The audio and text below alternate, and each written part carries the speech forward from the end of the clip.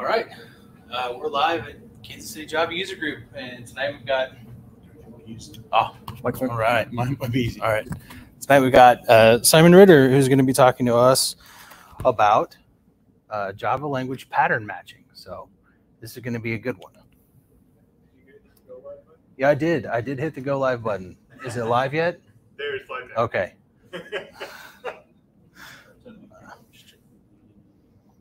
There we go. Ah, I don't use don't use these very much. so, welcome everybody to the Kansas City Java User Group. Everybody watching on the stream and watching us later, welcome to you as well. Uh, we want to thank our sponsors, uh, Clinical Reference Laboratory, who is providing us with our um, Meetup.com uh, website registration fees. Um, we also want to thank Oracle. We didn't put them on the slide, um, but we want to thank them for uh, sponsoring our in-person venue. We're at Brouhaha in Overland Park, Kansas. So um, we are probably we, we are starting to do in-person meetups again. So make sure you watch the meetup.com page for uh, details about that. Java news this month. We've had a couple of things that are getting getting ready to land. Uh, Jakarta EE10 is nearing its release. Uh, some of the features that are going to be included in that include multi-part media support. So that's going to be native to Jakarta EE. You don't have to go directly to Jetty to get that support anymore. Um, OpenID Connect integration, which is a pretty cool feature if you use any integration with an OpenID auth provider. Um, and it's going to be based on Java 11, or sorry, it's going to have a, a base JDK of Java 11, um, and it's going to also add uh, JPMS modular modularization support uh, throughout the entire SDK.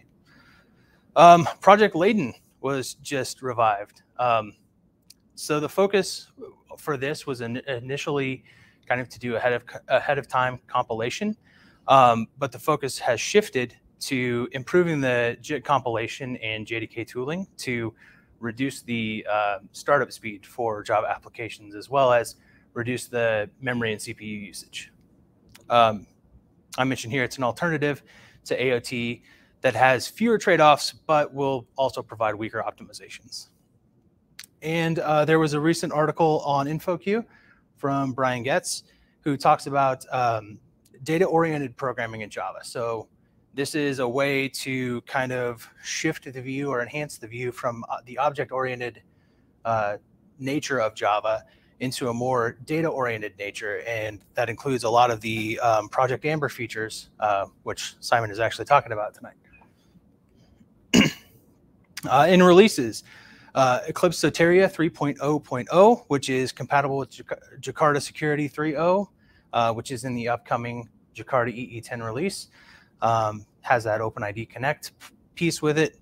Uh, Log4j 2.18.0. Put this on here as a joke because it actually doesn't have any security vulnerabilities fixed this time. uh, it does require uh, a new compatibility library. If you're using SLF4j, uh, I think it's um, the most uh, recent 1.x release, 1.8 um, or higher. It has a different compatibility layer library now, so just be aware of that. Uh, Quarkus 2.10 has been released, which has some experimental features uh, with Project Loom. So um, get to play around with something that's using some virtual threads under the covers. Um, JReleaser 1.1.0 was released. Um, this is a project that I kind of just found out flipping through uh, some release notes, and uh, it looks pretty cool. So if you release Java projects, JReleaser looks like a pretty cool um, a pretty cool thing to manage your releases and get everything related to the release out all at once. Um, Postgres SQL 14, I put this on there because the new syntax breaks their official JDBC driver. So if you're moving to Postgres SQL 14 and you are using new syntax, just be aware it's going to break. It also breaks the um, .NET driver. So if you're using .NET, um, I'm not sure why you're watching a Java user group, but we appreciate it. Uh, but your driver is also broken. Uh, and Spring Boot 2.7.0 was released, which adds support for GraphQL, Podman, and Cache2k. So some new functionality there. Uh, it's also intended to be the last 2x release.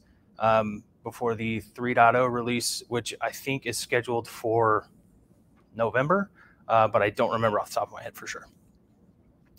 Um, in other news, uh, coming up with conferences, we've got local conference, KCDC, which is August 8th through 10th.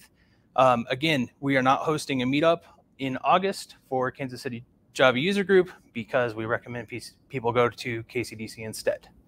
Uh, JConf in Chicago, September 26th to 28th, is a is a good one. If you um, travel or are going to be in Chicago, want to go to Chicago, uh, it's a good one to go to.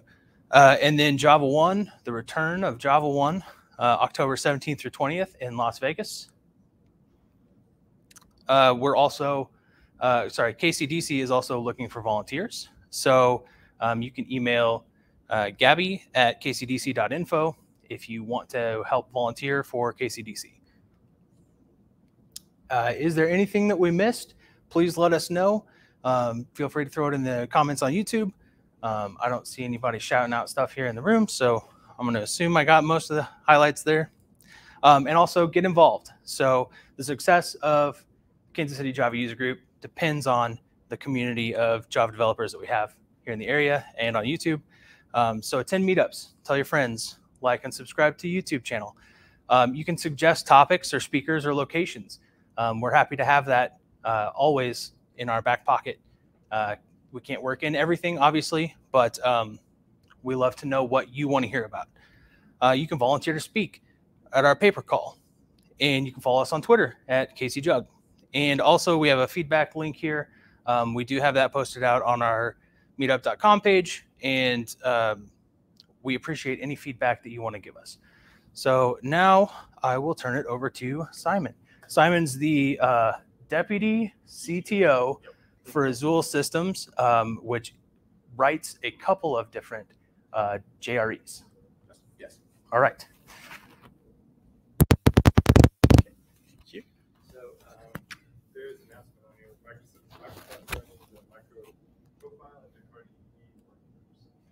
All right.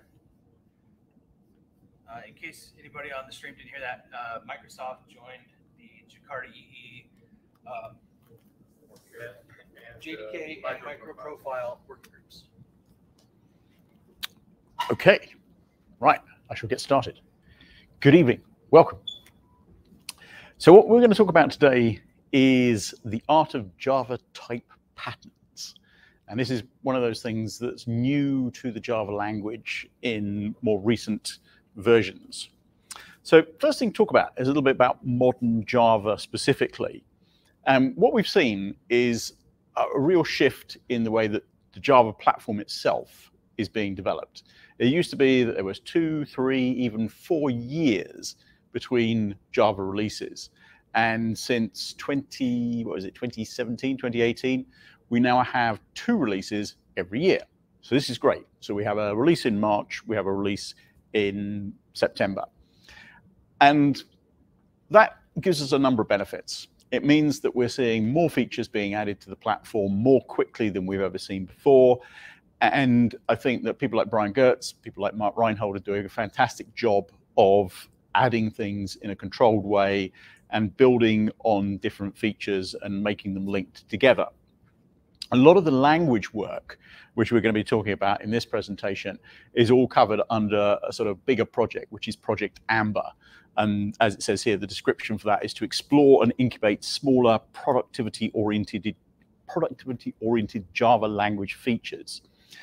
The other thing about the faster release cycle is it also means that we could introduce the idea of preview features and incubator modules.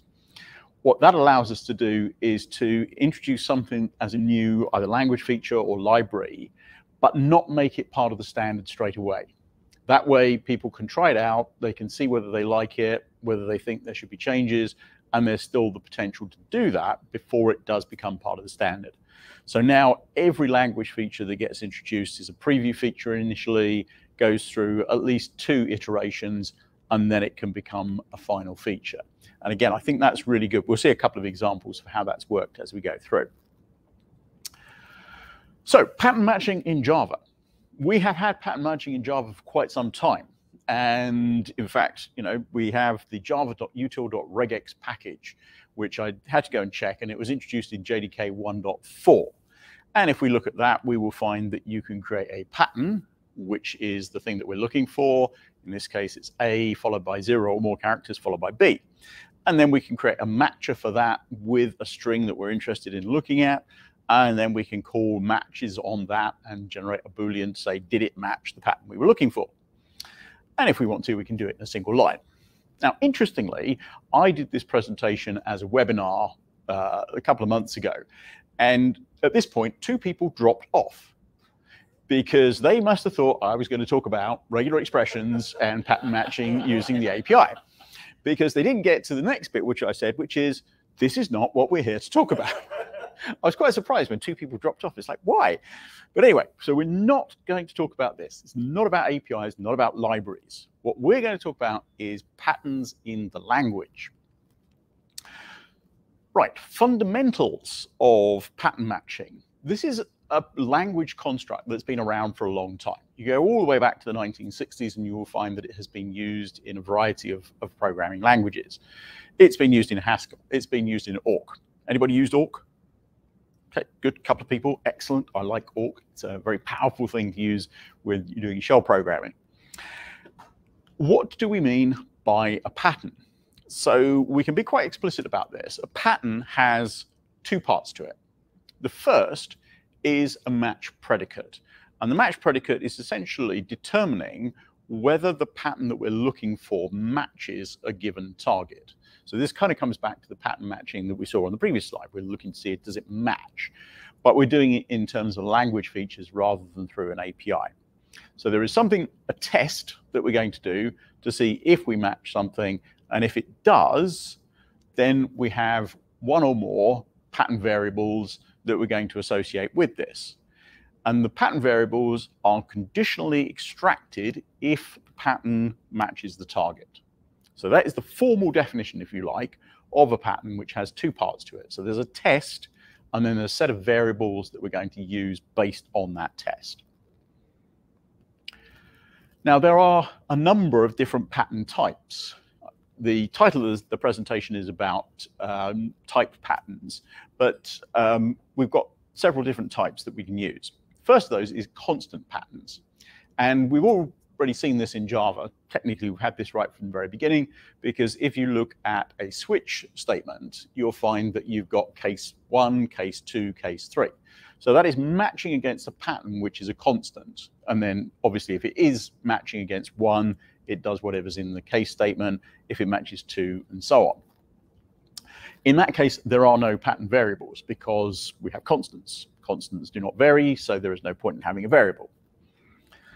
The one that we use most here are type patterns, which are related to the, so the type of the pattern is type which is a little bit confusing, but, but there's a type of pattern is type, but here we're talking about types as in Java types, meaning the classes that we declare and the things that we use in our programming.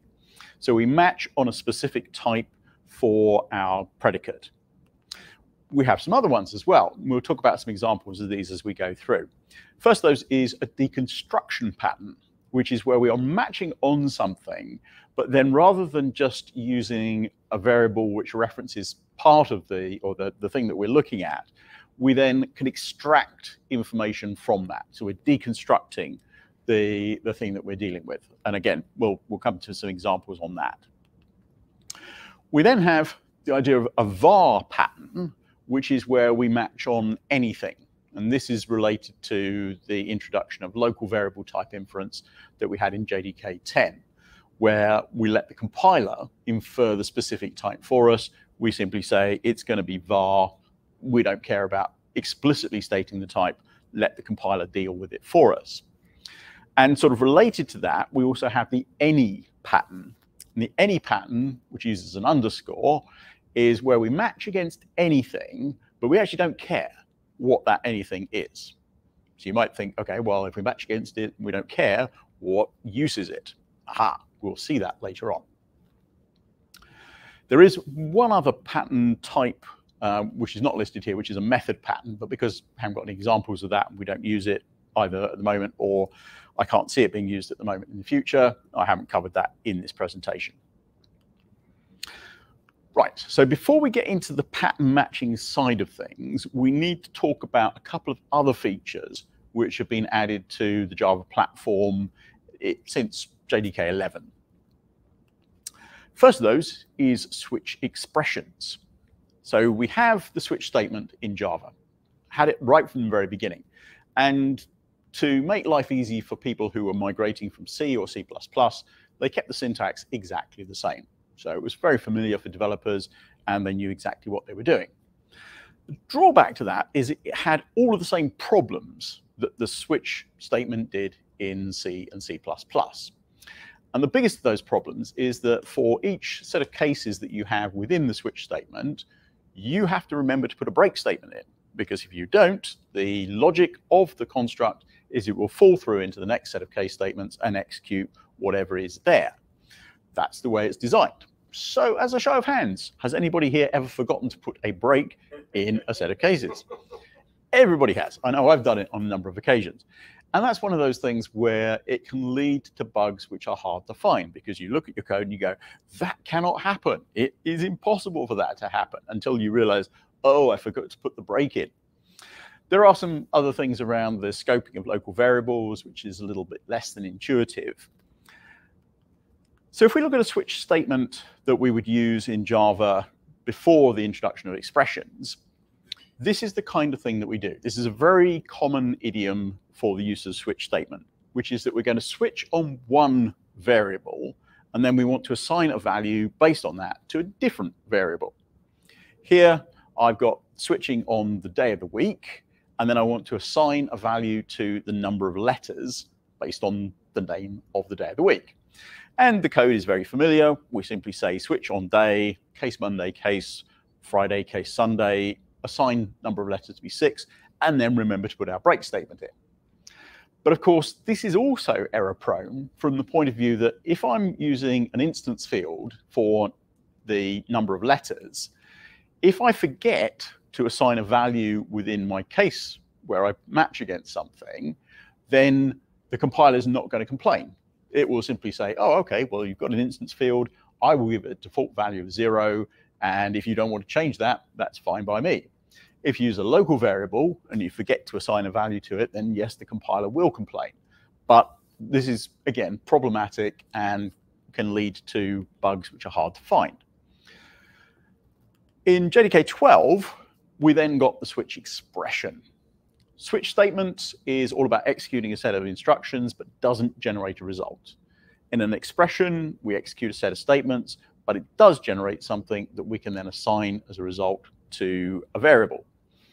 That makes our life easier because instantly we've eliminated one of the problems that we had on the previous slide. We can say assign number of letters to be the result of that switch expression and do it once. So no worrying about have we got return values within the, the switch expression itself. The compiler will check that for us because it knows that each case has to return something. The syntax we use here, what you'll notice to start with, is that the amount of lines of code that we have is less. That's great. And this is actually one of the most, the, the best things about this particular feature. What the developers of this feature did was they looked around and they discovered this little known feature. It's called a comma separated list. And they said, right, rather than having case Monday, case Friday, case Sunday on separate lines, let's just use case Monday, comma Friday, comma Sunday. I can't believe it took them 25 years to figure that out. But there you go. So now we have all of those things on one line. They borrowed the arrow operator from the Lambda expression. The right-hand side of the operator is the value that's returned from the expression. And as I say, the compiler can check to see that you've either got a value being returned of the right type or it's throwing an exception. So that's good because the compiler can eliminate all those problems. And because we're not breaking, we don't have to remember to explicitly put a break statement in there. So much, much better than we had before. The other thing about this is that switch expressions must be complete, exhaustive. So we'll come back to what that means later because it's quite important when we talk about pattern matching. The other thing we need to talk about in terms of new features related to our pattern matching is algebraic data types in Java. And there's two things to talk about here. The first is how we represent data classes. And it was interesting you said about the article that Brian Goetz had written uh, about this very feature. What we do here is very typically we create objects mm, through classes that we want to simply store some information in. And example of that is a point. So a point has two values, x and y. Great.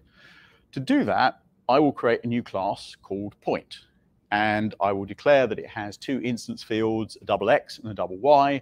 I'll make them private to the class, and I'll even be good and make them final. Then I need to have a constructor. So the constructor has two arguments that I pass to it, double x, double y. I have to explicitly assign those values to the instance fields. Then I need an accessor method to return the value of those fields because they're private, so I can't access them directly. That's 14 lines of code just to create a tuple. And I always thought that, you know, when you look at JDK 8, for example, there's four and a half thousand classes in the standard class libraries. Why isn't there a tuple? And I did ask Brian Goetz about this, and he said, ah, yes, we could give you a tuple. And then you'd ask for a triple, and then you'd ask for a quadruple. So where do we stop? And he's quite right. So they came up with a better way of doing this. And the better way is records.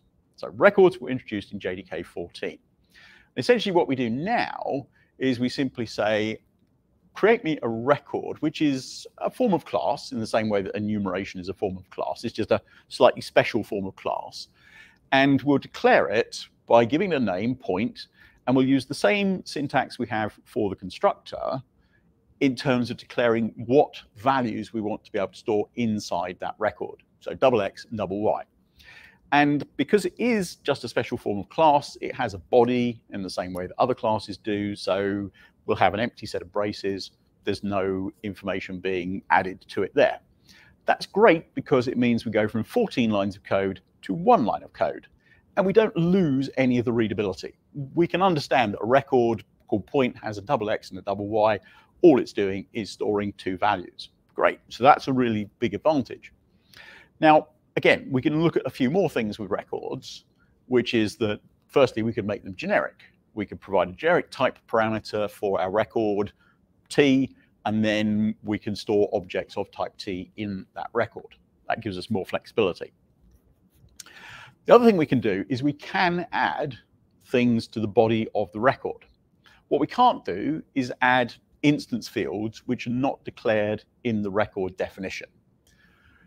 With my circle, I've got a value, the radius, which I'm storing, but I couldn't have an instance field that I declare inside that. I can have instance fields if they're static.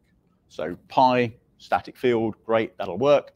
And I can declare extra methods to add behavior to my record, calculate the area of the circle, and so on.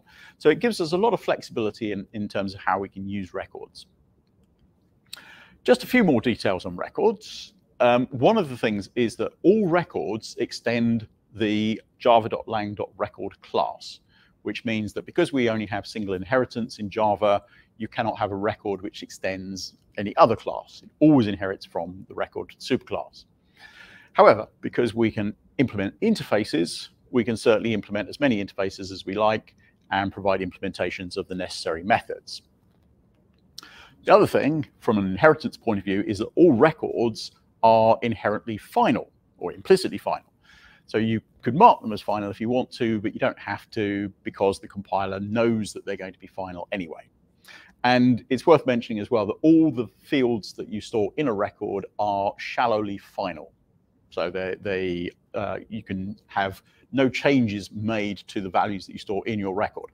Obviously, you've got a reference to another object, then you could change the values within that object, but not the reference to the object itself. Records do not follow the Java Bean pattern. And this is something that was up for quite a lot of discussion when they developed records.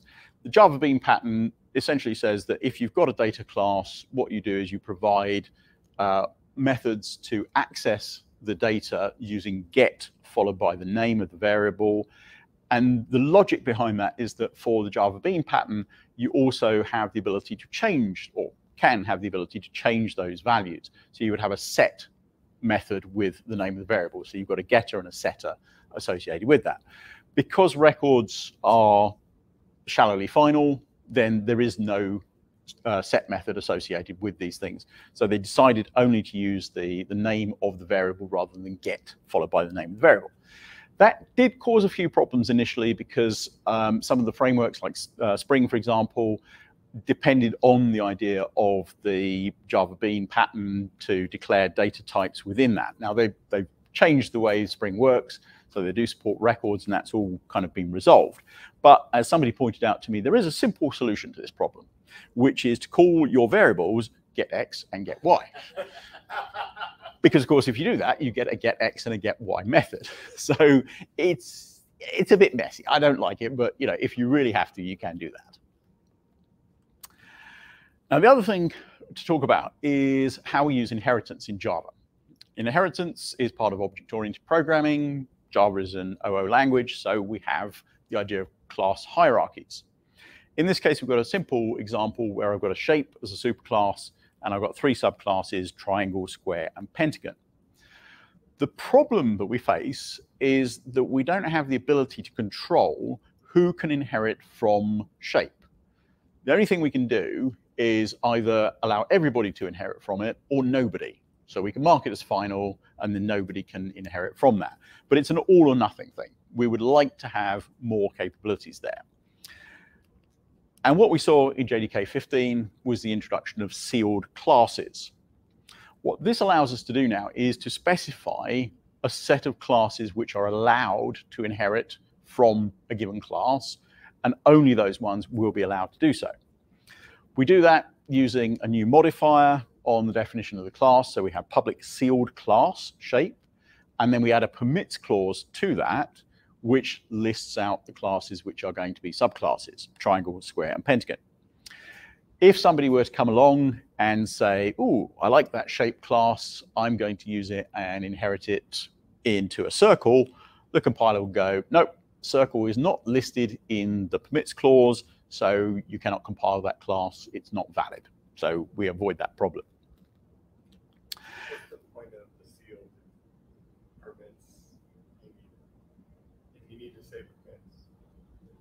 Oh, I see what you mean. So do you really need the modifier to say it's sealed?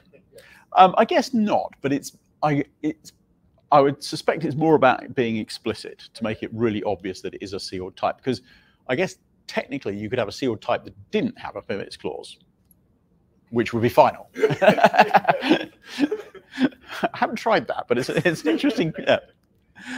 But yes, I think it's to be more explicit about that. Um, and and also you see because um, one of the things about sealed classes is that all of the subtypes must explicitly state their inheritance capabilities. And there are three ways of doing that. So the first is that we can continue to make the class sealed. So we say public sealed class triangle and add another permits clause to say that we can have equilateral and isosceles as subclasses of triangle. So that's the first thing that we can do. Obviously extend shape as well. Second thing we could do in terms of explicitly stating inheritance is to make it final. So nobody could then further subclass, in this case, the square, it would be uh, final. And then the third thing we can do is we can effectively unseal the class. So now anybody can inherit from Pentagon.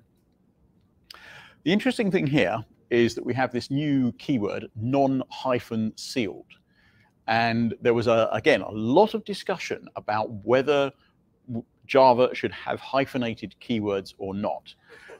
And, and the decision was made that if we want to extend the language further, having hyphenated keywords was going to be very important because you know it just makes life easier. And because you can't have a hyphen in a variable name, it doesn't run into the problems of, of um, affecting backwards compatibility.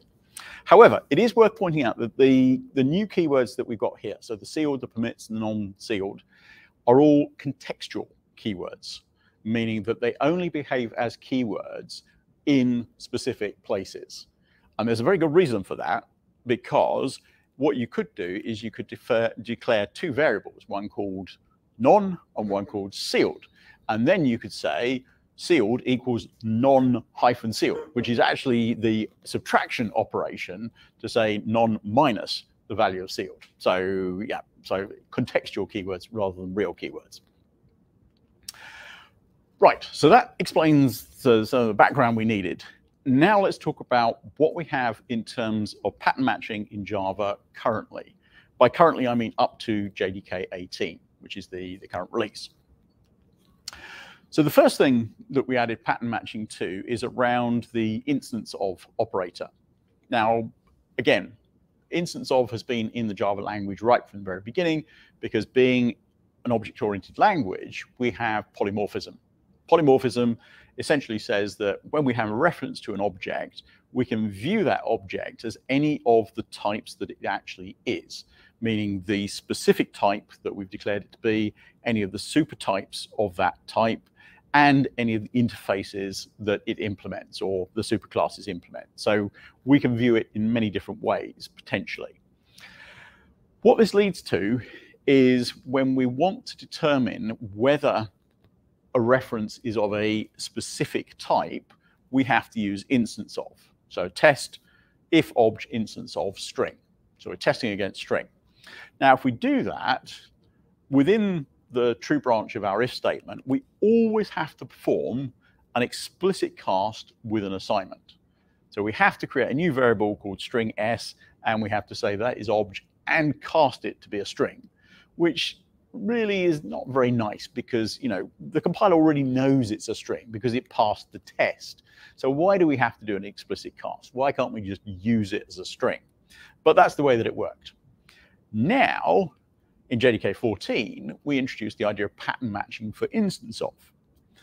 What we do now is say if obj instance of string, and then if we go back to what I said at the beginning, where we have two parts to a pattern, first part is the match predicate.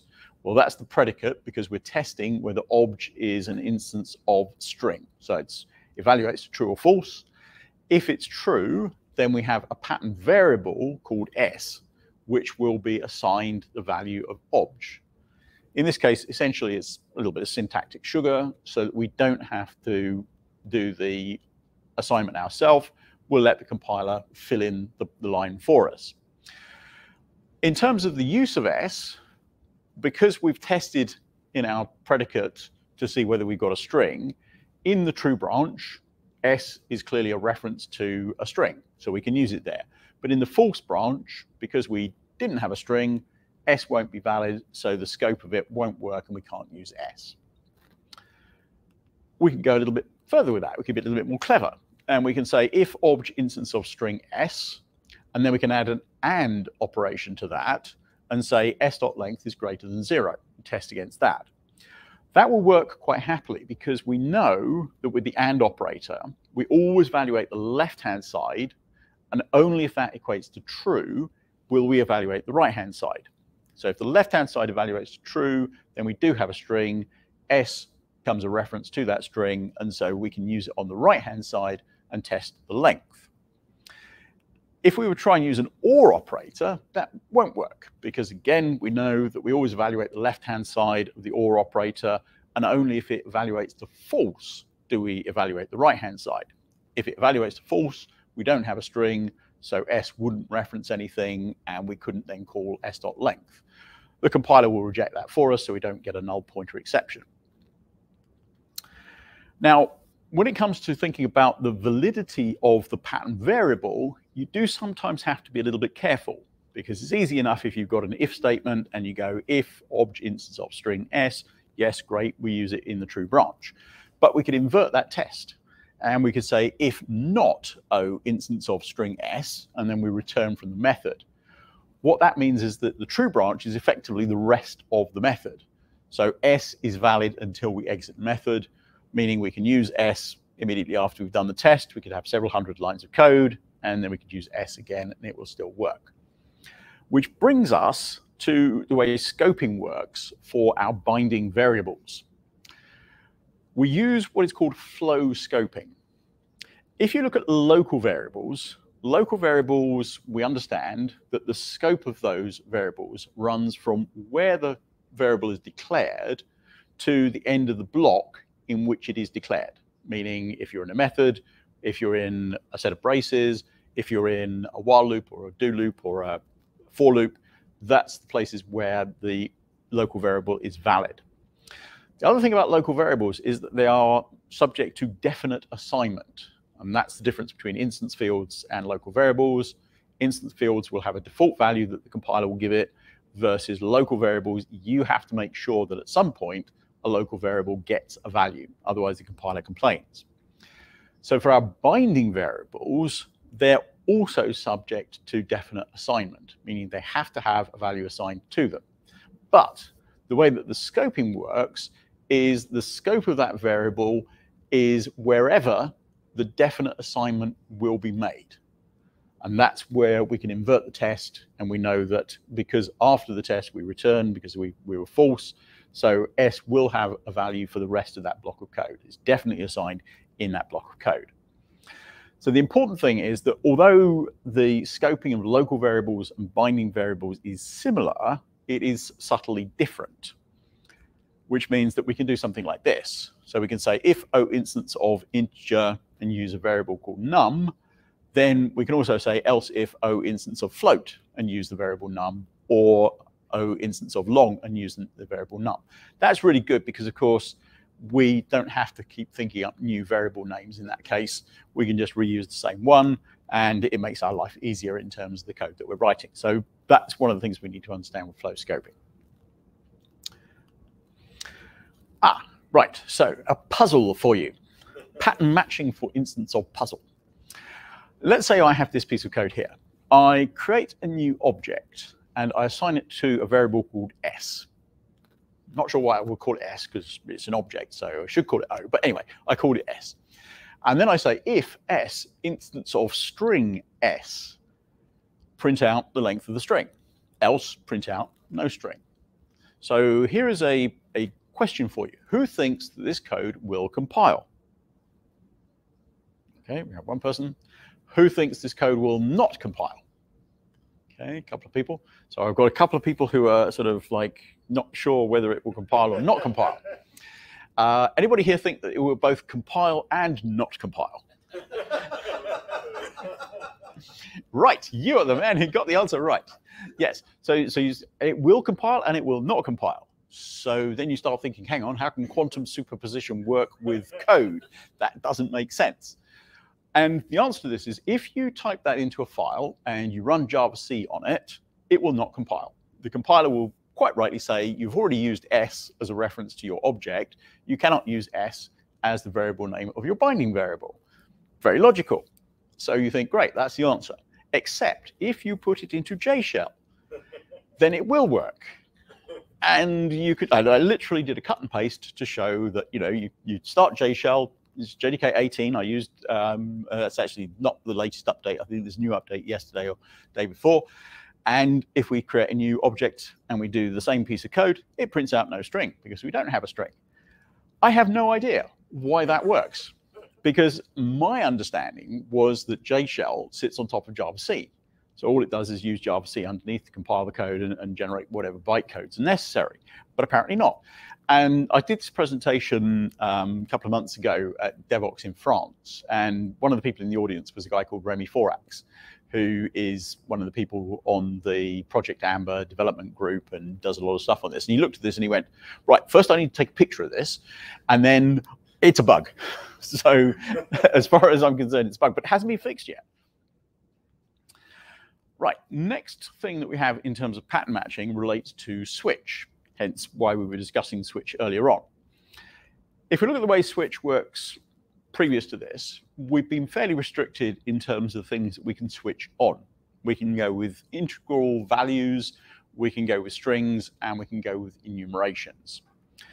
What they've done now is expand that so that we can use type patterns as well. And what that leads to is something like this. So we create a method called type tester, pass in an object reference, and then we switch on O, and we have cases which are related to the type of that object. The first one we have is a case null. Now, technically, this is a constant pattern because a null is a null is a null. So there's no binding variable associated with that. And this is a new thing because in the past, we haven't had the ability to do a case null. That's a really good thing because again, it was one of those irritating things that when you used a switch on something, you would always have to, well, you should have done, you know, tested to make sure you weren't passing a null reference to it. Otherwise, you got a null pointer exception. So we now have a case specifically for null. We also now can define cases for specific types with binding variables. Case string, have a binding variable s, and we can print out the, the string on the other side. Color, C, we can call the get RGB method on that. Now, primitives in Java are not types in the sense that we can use them in this situation, but arrays of primitives are types, which means we can have case int array and binding variable ia, and we can print out the length of the array. So we can use arrays of primitives. And then obviously we've got our default. So the way that null works has changed a little bit. It's, it's, a, it's got a little bit more complicated in terms of how it works with the, the switch statement and expression. What's happened is that by introducing the idea to have a specific case for null, in order to maintain backwards compatibility with older code, what the compiler will do is actually insert a case null for you if you don't have one. So if you recompile old code which doesn't have a, a null case in it, then the compiler will insert that for you.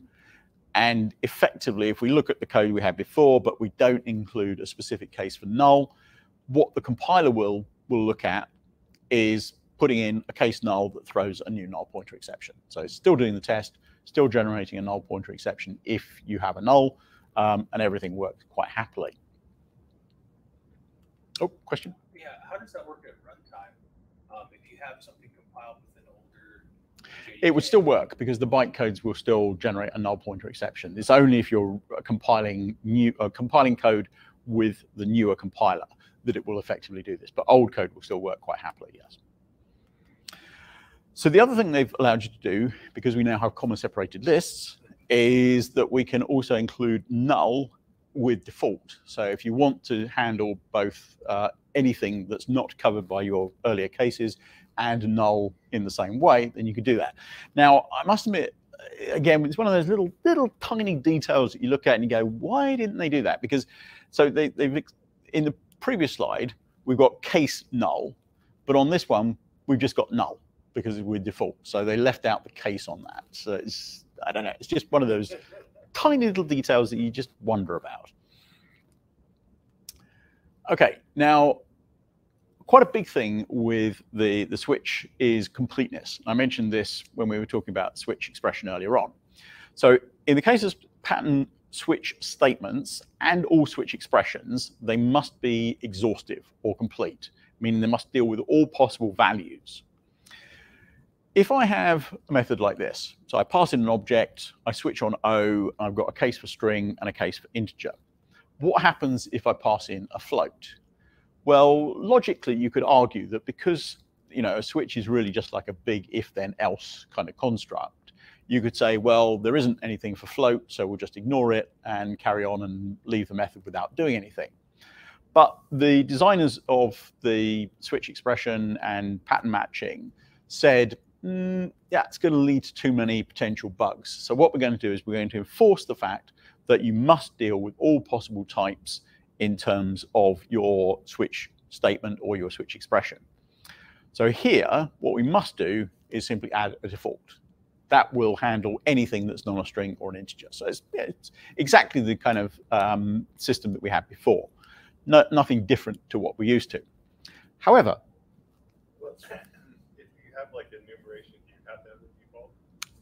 No.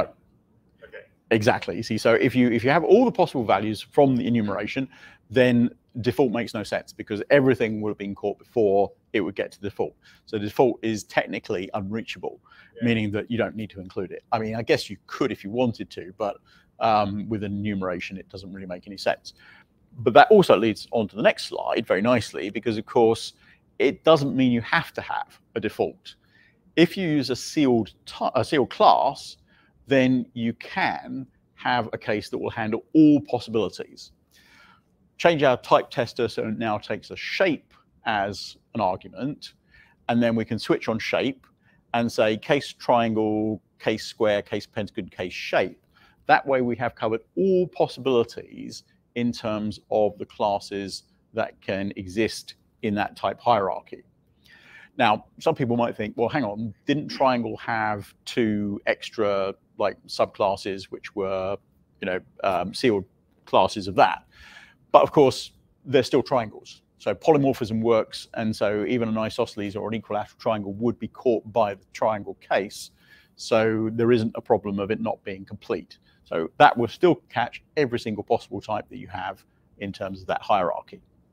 But you still evaluate it in order, so does ordering matter? Yes, it does. Okay. And that will be probably in the next slide or two. the other thing we can do is similar to what we saw with the uh, pattern matching an instance of, we can include an AND so that we can do both a test on the type and we can then do uh, a predicate which allows us to test something based on that type. So with our triangle, we can say case triangle T and T dot area is greater than 25, then print out it's a big triangle. But we must have another case specifically for any other triangle because otherwise it wouldn't be exhaustive. Because if you had a triangle that was less than 20 or less than equal to 25, then without a triangle T on its own, it wouldn't be caught by that and it wouldn't be exhaustive. So the in JDK 18, the syntax for this is primary pattern, and double ampersand, conditional and expression. In JDK 19, because this was a preview feature in JDK 18, they decided to make one small change. They decided to use when rather than the double ampersand. yes, that's exactly the exactly the expression on my face when I looked at that. I went, "Why?" because I guess they thought it was more, um, you know, more language, if you like. It's, it's more English language rather than computer language. I personally, you know, we use ampersand, you know, the and operator all over the place. So why did we have to change it to when? I mean, there was, again, this is, you wouldn't believe all the discussions that go on on the mail aliases about these features, because there was a huge discussion about why shouldn't we use if rather than when? So you would have case triangle T if T dot area greater than 25. And then, uh, so Brian Goetz made the, the, the good um, thing. He said, no, no, no, we don't want to overload if with more places where it can be used because you could end up with case triangle T if T dot area greater than 25 arrow if and then have an, a, like another if statement after that because that would be quite valid. So it would get very messy. So they have decided to use when. That's that's all I will say about that. So when is an alternative or it's what you have to use for the syntax in that case? You have to use it for the syntax in that case. Yeah. So, if you had another condition, it would be case triangle T when T area greater than 25 when? No. Okay. No, because it's a conditional and expression. So what you because you'd have to decompose okay. it. So you have. So you would then use ampersand. Yes. With, okay. Yes, you would exactly. Which I guess is one argument for why you would use when because otherwise it gets hard to parse. Because if you had when t dot area greater than 25 and t dot sides less than four or whatever, um, then it, it would get more confusing. But anyway, that's the syntactic approach that they have taken. It's always good to look at this stuff and, and you know see people's reaction to it. Pattern dominance. So this comes to the question that you had about the order mattering. Yes, it does. Because of course, if we reordered the, the simple example and we said put the shape as the first case, then that will match everything as a shape because a, a triangle is a shape, a square is a shape, a poly, um, pentagon is a shape. So it would match everything on the first one and those three lines would become unreachable.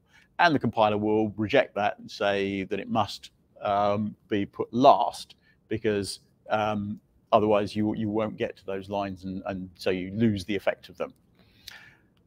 That also applies when we talk about guarded patterns. Because again, if we switch the guarded pattern over and we say case triangle T first, that will catch everything that's a triangle. So you would never get to the case where you were trying to match triangle T and evaluate the area being greater than 25.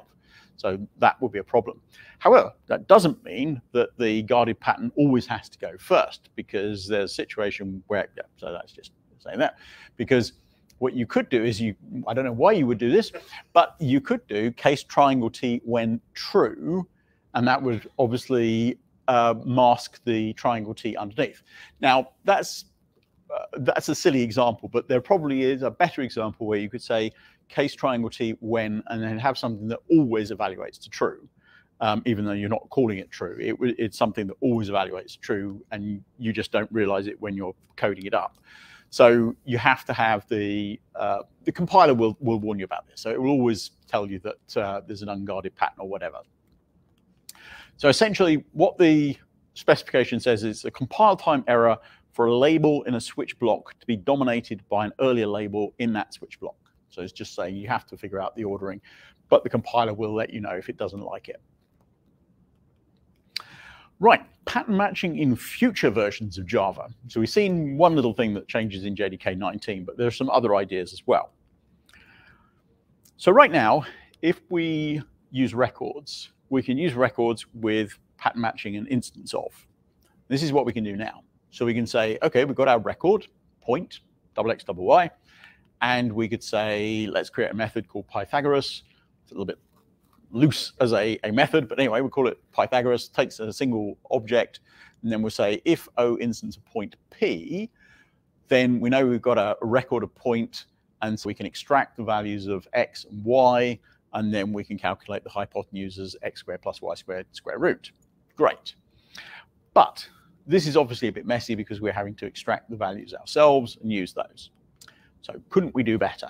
And yes, we can, because the idea is to use pattern matching with records, which is a deconstruction pattern. So now what we can do is we can say, let's use records and let's deconstruct those records. But because a record is simply a special form of class, it will also work with other classes as well. So now what we can do is we can say if O instance of, and then give the record definition point double x double y, so that when we calculate the hypotenuse, we don't have to extract the values of x and y from that. We can simply reference them as x and y from the point. And that makes life simpler for us. So we're eliminating the, the problem there. However, we can take this further because let's make our example a little bit more sophisticated. We'll introduce an interface called rectangle. Then we'll have our record point still, and we'll have a numeration which is color, red, green, blue. And we'll have two records which use those. So we've got a color point, which has a point and a color. And we'll have a color rectangle, which has two color points, the top left and the bottom right. And we'll also say that implements rectangle. Right. So what I could do is I could use a, the deconstruction record pattern and say print color rectangle R. If R instance of color rectangle, and we've got color point top left, color point bottom right, then we print out top left dot C. So we're using the uh, deconstruction from there, from the color rectangle, to print out the value of C on the top left. But of course, that's a record as well. So we can compose our patterns. And we can do something like this. So we can have R instance of color rectangle, color point, point P, color C, color point BR, and then we just print out C. Now, obviously, in this example, you know, we're, we're I'm, I'm making it quite long and we're only using one line there, but you can see how if you were doing some more complex code, this would actually be quite beneficial. But of course, we know that point P is also a record. So we could extend that further. And we could have print top left X of rectangle R, if our instance of color rectangle, color point, point, double X, double Y, color C, color point BR, and print out X. But that's getting kind of messy now. So what we need to do is simplify that and, and make it easier, which is where we can introduce the var pattern. Simply use the idea that we have in terms of local variable type inference and let the compiler figure out the types for us. So we know that we've got types involved, but we don't actually really need to worry about that so we'll simplify things by saying color rectangle, color point, point, and then we have var x, var y, var c, var br, because that's the things that we, we're only really interested in x. So we can do it that way. So this is something that is sort of planned at some point for Java. They, they've kind of talked about this. What they haven't talked about yet is the idea of using the any pattern. Now, this is not part of a JEP. This is pure speculation on my part. I don't even claim to have thought this up. I saw somebody else uh, suggest this as an idea. And so I think it's quite a good idea because this is where we could use an underscore. Because now what we can do is simply say, okay, we have something where we know we've got a variable involved, but we don't actually care what it is. And that's where it's like the idea that we have something, we don't care what it is. So now we tidy everything up and we say, right, we've got a color point, we've got a point, and we're interested in the X component of that. Everything else is irrelevant, so just mark it as an underscore so the compiler knows that we've got the right number of arguments. We just don't care what they are. So that tidies things up very nicely. And this sort of relates back to um, one of the changes that was made in JDK 9, where they went from the idea of um, no longer being able, or went to the idea of no longer being able to use a single underscore as a variable name. Anybody here ever used a single underscore as a variable name? Probably not. Uh, the good news is that if you have, then two or more underscores still does work as a variable name in Java. The reason they did that in JDK 9 was that they were going to use a similar approach to Lambda expressions. So that if you had a Lambda expression that had more than one parameter and you weren't using all of them, rather than having to think about the what the parameters were. You simply mark the ones you're not interested in with an underscore, and the compiler knows, okay, don't need to do anything with that, just ignore it. So that's that's sort of related to that. So yeah, got no interest in those, we'll ignore them. The other thing we could do is, again, a deconstruction pattern, is to look at the idea of pattern matching for arrays. Because again, we could take code that we could do at the moment, we could say if O instance of, and remember an array of objects is fine, so string array, and we'll also test to see if the length is greater than equal to two, then we can extract the first element, extract the second element, and then concatenate the two and print the result. Why not use a deconstruction pattern for that? So we'll say if O instance of string array, and then we'll use the same syntax that we would use if we were defining an array of strings, and we'll simply say string S1, string S2, use the ellipsis to indicate that we've got a variable number of arguments because there could be many other elements in our array, and then print out S1 plus S2. So the compiler will do the deconstruction for us. So this was going to be part of JEP 405, which is the same JEP that does the record pattern. But for some reason, they've dropped that. I think they're still trying to figure out some of the details around making it work with the syntax and, and whether there are different changes that need to be made. Um, right, so, so just to sort of summarize what we've uh, looked at, um, pattern matching, I think, is a very powerful set of language constructs, and it does eliminate a lot of the sort of boilerplate code we've seen in certain situations and gives us interesting new ways of doing things. It also makes our code more declarative. Um, there's some other things underneath as well even though a lot of this looks like syntactic sugar, especially with like the pattern matching, for instance, of, there are some situations where we can use that and make the underlying code perform better by doing things that way. I think some of this idea of using underscores will be something that would be potentially better in terms of performance. Many of these features already available. Some are coming in JDK 19, JDK 20, and some will be even further from there. Just since I have an audience in front of me, I will briefly talk about what we at Azul do. Um, so as a, as a, simple question, right? So who had heard of Azul before this presentation? Okay, so three out of four, that's good. So you haven't. So what we do as a company is basically Java. That's all we do. And we have two products. So it's a nice small product set. That sometimes upsets our salespeople. What we do with the first product is simply a straight build of OpenJDK. It's equivalent to what the Oracle JDK. So make it four for four. okay. that, that, that okay, so it's called Zulu, and then Azul Platform Prime is the idea of having a higher performing JVM. So we replace things like garbage collectors with a truly pauseless garbage collector. We also replaced part the uh, C2 JIT compiler with one based on LLVM. And we have a thing called ReadyNow, which is about reducing warm-up time by taking a profile of a, a warmed-up application. So lots of stuff going on there. And the other thing we're doing more recently is um, cloud native compiler. If you're running in the cloud, why have all your JVMs do their own JIT? take the JIT out, put it as a centralized service, and then have the different JVMs called to the service to get the JIT done. Eliminates the use of or reduces the CPU load on the JVM as it's running the application, and also allows us to cache code so that we don't have to recompile the code every time, especially if we're running multiple instances of a microservice, for example. So there's some interesting stuff going on there. Um, free offer. Um, we like to talk to companies and individuals. So the whole idea of doing this uh, Java user group tour was part of that. But we're very happy to do things for companies if you've got a large number of Java developers and you're interested in like the sort of presentation I've just done, or if you're interested in finding more about more about what we do in terms of performance.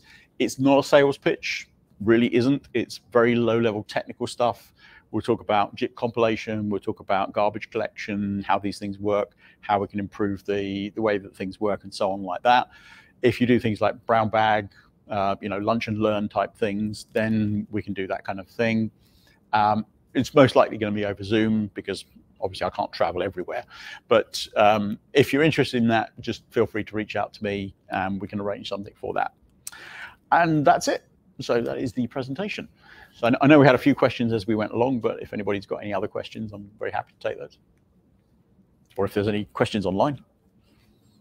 Yeah, nothing, nothing coming in on YouTube. So um, I would say we're probably okay to uh, wrap up. Sure. Okay. Um, appreciate your presentation tonight, Simon, and thanks everybody for joining. Um, and we will not see you in August. KCDC. KCDC.